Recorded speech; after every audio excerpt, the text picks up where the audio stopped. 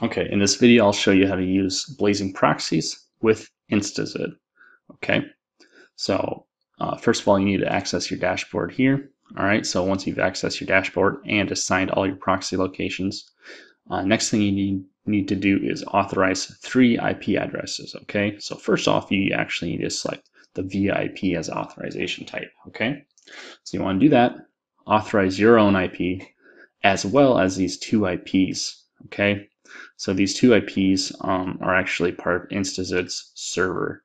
Um, so you need to make sure you have at least three IPs authorized. Your IP, your computer's or server's IP, and these two um, server IPs for Instazood. Okay, uh, make sure you have all these IPs authorized for at least 10 minutes. Okay. All right. So mine have already been authorized. Um, and then uh, another thing to keep in mind, um, Instazood uses SOCKS. SOCKS uses port 1080. Okay, so we need to manually assign the port 1080 into SOCKS. But first of all, let's export our proxies and uh, assign the port 1080 and have a list um, associated with our IPs, okay?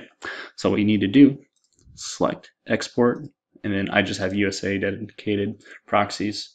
Once you select um, that tab, you want to copy your list, paste in your notepad, okay?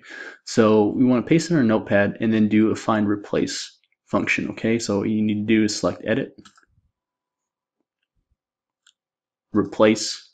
So we need to replace 3128 with 1080, okay? So you want to replace all, exit out, and as you can see, you can see my list along with the port number 1080, okay? All right, so next thing we need to do is log into our Instazood dashboard. So I'm already logged in.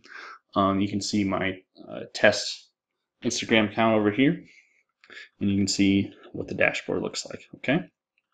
All right, so from there, you need to assign the proxy to your um, Instagram account. So you need to select settings over on the right-hand side over here, okay? Do this from the beginning.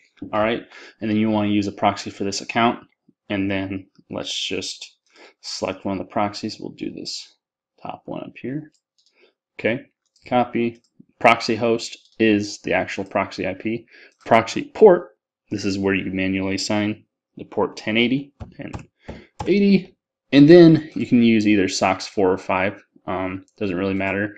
And then you can just leave the username and password blank. Okay. So you want to save. Okay. All right, and then uh, you can test just to make sure. All right, proxy's good to go. Um, if you have any other questions, please let us know.